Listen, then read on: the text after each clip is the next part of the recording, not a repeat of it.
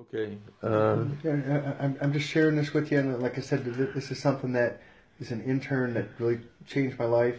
Had a patient got stabbed in the heart when I walked in the in the ER to because I was on the ER, but the surgeon had his chest cracked open and he had his finger in the guy's heart.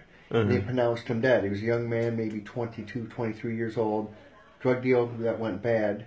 He died, and the surgeon was a Christian, Dr. Forster to be exact, said, We're not going to let him go without a fight. So he took him to the OR, took him to surgery, pumped him full of blood, got a pulse, uh, tied the um, hole in his heart up with a suture.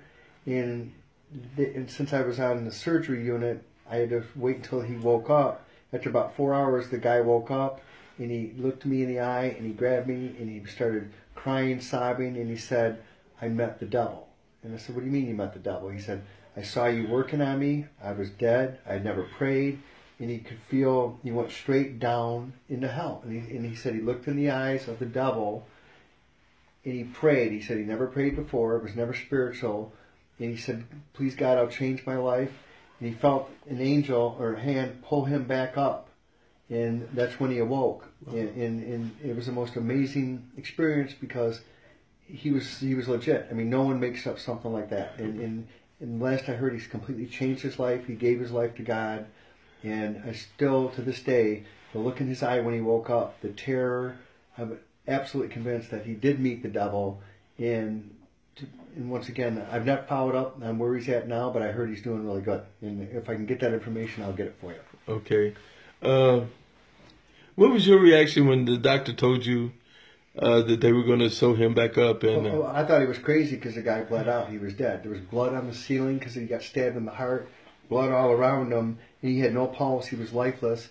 And the Christian doctor said, Dr. Forster, um, we're going to take him and we're going to try to revive him. And it was the, it was actually miraculous because the guy was dead. He completely bled out. And you don't open someone's chest in the ER, stick your finger in, in, in a hole. Um, that's that's a last ditch effort. And I thought he was crazy, but uh, now in retrospect, it happened for a reason.